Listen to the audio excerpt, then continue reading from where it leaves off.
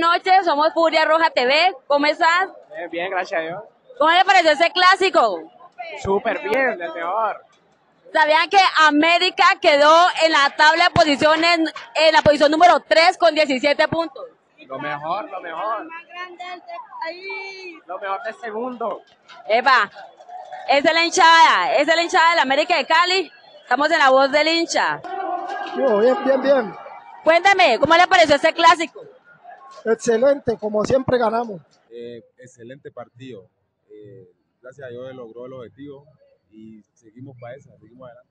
Nos falta todavía un partido de los que estaban que están ahí como aplazados. Nos falta un partido y ya ocupamos la tabla de posición, ocupamos el puesto número 3 con 17 puntos. ¿Qué opinan de eso? Bueno, América es un equipo que ha venido subiendo eh, su nivel. Empezó un poquito bajo, pero ya el equipo ha tenido confianza, ya ha tenido competitividad. Y bueno, ya con el partido que le hizo a Junior al Cali, yo creo que los que vienen es para ganar, para ganar. Así es, así es. Por acá, por acá tenemos otro hincha del América. Cuéntenos, ¿usted esperaba ese resultado, un 1-0 o un poquito más? Pues buenas noches para todos. Debemos de comprender que es un clásico. Siempre los partidos son más cerrados porque primero Cali viene último en la tabla y venía a buscar un empate y a buscar entre, ganarse el partido en una pelota, en un contragolpeo. Pero América jugó bien y yo creo que el, 1-0 es basta los tres puntos porque nos deja tercero la tabla y, ya tenemos que ir el sábado a, buscar otros tres puntos para seguir subiendo. Bueno, les cuento. Resulta que Quintana, Quintana hace nueve meses, o sea, desde que llegó nueve meses había marcado solamente dos goles. Por fin, ¿qué opinan de eso? Bien, me parece que hay que darle confianza al, al Barbas.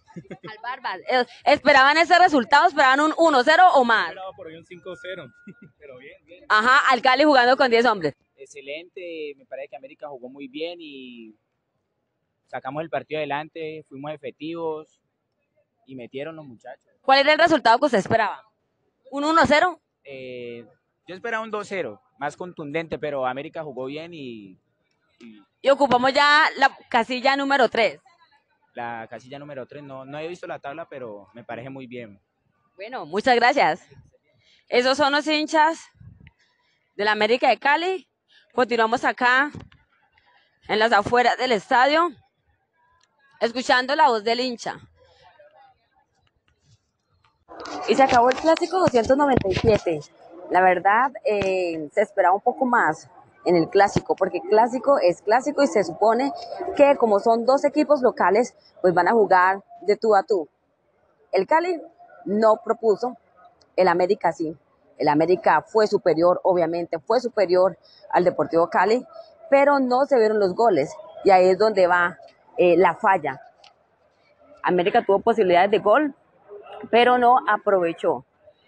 Entonces, lo bueno, lo positivo de, de ese encuentro es que América eh, sube ¿no? a, la, a la tabla de posiciones, queda en el puesto número 3 con 17, 17 puntos y queda ahí, tranquilo, fresco, relajado por el momento, con 17 puntos. Recordemos que eh, le falta un partido por jugar y bueno, va de menos a más y eso es lo bueno, eso es lo positivo. Hoy Marco Quintana era, era de esperarse porque en realidad necesitábamos ver a un Quintana goleador y eso fue el cambio, eso fue lo que propuso Guimaraes. Creo que por eso fue que entró, hizo ese cambio con esa Quintana para buscar el cabezazo, porque Quintana es un jugador que se caracteriza porque hostiga, porque juega a la espalda de los jugadores eh, de su equipo y eso es algo como muy novedoso.